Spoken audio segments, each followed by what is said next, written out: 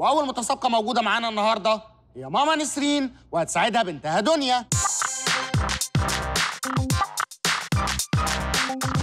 اسمي نسرين عادل عندي 40 سنة. اسمي دنيا حسام عندي 19 سنة وفي ثانوية عامة.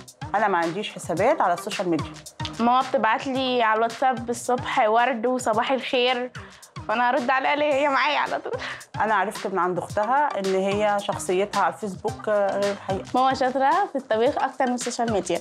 أنا ب- عشان ببعت لها على الواتساب رسائل ومش بترد عليا. لا هي ماما ما بتستخدمش الموبايل كتير. يعني هي خمس دقايق بالكتير في اليوم. أنا ما عنديش آه، جروبات متواصلة ما بيني وما بينها على الواتساب. هي يوم الجمعة بتبعت لي رسائل أو أدعية وحاجات بس ما بردش برد.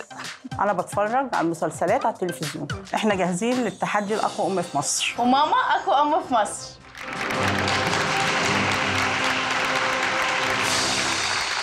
ماما نسرين منورانا ده نورة عاملة إيه؟ الحمد لله. جاهزه للتحدي أقوى أم في مصر. أقوى م... أنا أنا بحب الثقة دي. أنا بحب الثقة المفرطة اللي في الأول دي. مش قوي يا. دنيا.